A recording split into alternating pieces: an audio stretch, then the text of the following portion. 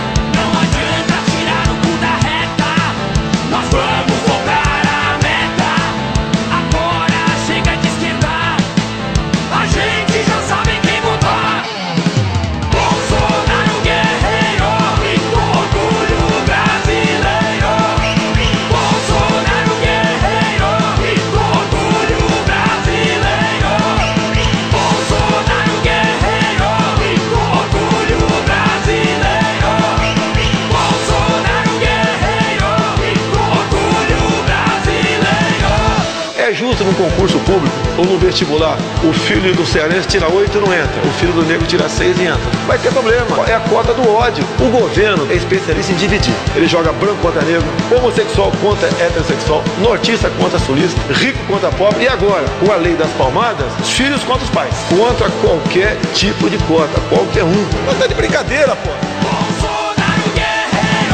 Acabou, porra. É minha ideia.